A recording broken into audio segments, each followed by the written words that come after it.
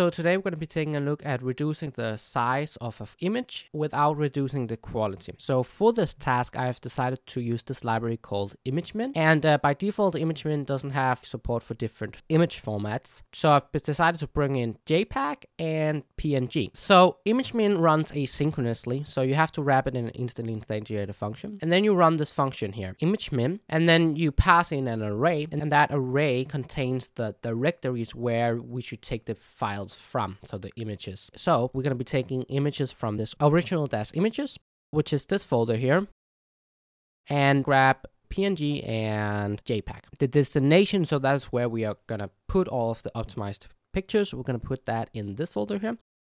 Now, by default, ImageMin doesn't have support for specific formats like JPEG or PNG.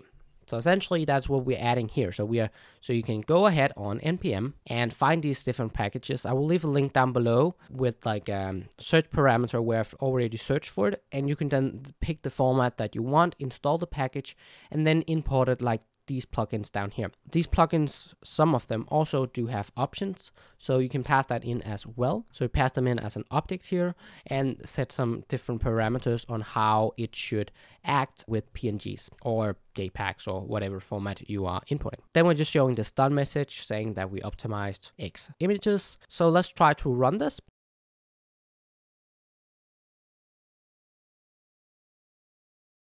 And you see it goes relatively fast.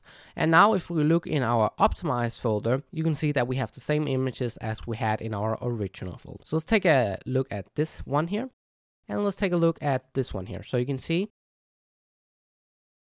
that visually there's not really a big difference. Let's take a look at one of the JPEGs. So you can see again, visually there's not that much of a difference. But if we take a look at the file sizes, you can see that, let's look at this one here. So you can see the file size down here. And you can see that that is 121. let's take a look at the file size here, and it is 122. And you might think, uh, well, I mean, didn't that increase the size? So one thing you have to know about like resizing the quality of images, if the image is already optimized, what it will do is that it will won't really reduce the size. It might actually increase the size, but that's just because that is it can't really take the quality any lower without distorting the image. So I don't know specifically how ImageMin works, but essentially that's what happening. But let's take a look at an image which could use some optimization. So we are in the original images folder and you can see that this one here, it's a really big image. So if we go ahead and take a look at this here, you can see that this it has actually been reduced. But these images, they didn't really need any more reducing. Now, it's not that you can't lower the quality, but you will be able to see it. And with this library here, you are not really able to see the changes, but you're just reducing the sizes. Now, I do want to say that if you don't want to set up your own backend library for running this, they do provide an API, and I've linked that down below.